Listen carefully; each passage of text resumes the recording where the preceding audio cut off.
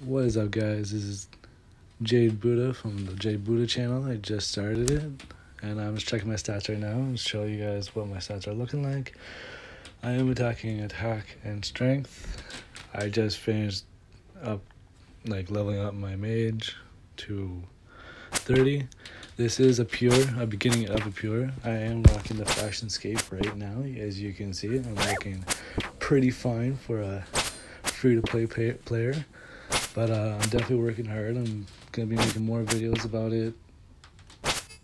Um, over course of time, just to show like how my characters are developing and just getting through with it. And you know, that's my favorite game of all. I used to play it when I was a kid. I just got back into it.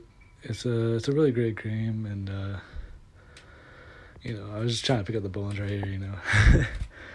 But uh, yeah, my inventory right there is just all fish. I am level, I think, 20. And my attack is 21 or 20. And my strength is 21. But uh, I'll definitely make another video with another update because, like I said, I'm just trying to show how my character development is going on. But I love this guy and I definitely hope to try and do PvP in the future. I'm trying to make this one of the best Peters, but you know, like takes a lot of video editing. But uh, yeah, stay tuned and wait for the next video. And I love you guys. Stay safe in this beautiful quarantine day. And yeah, have a good day.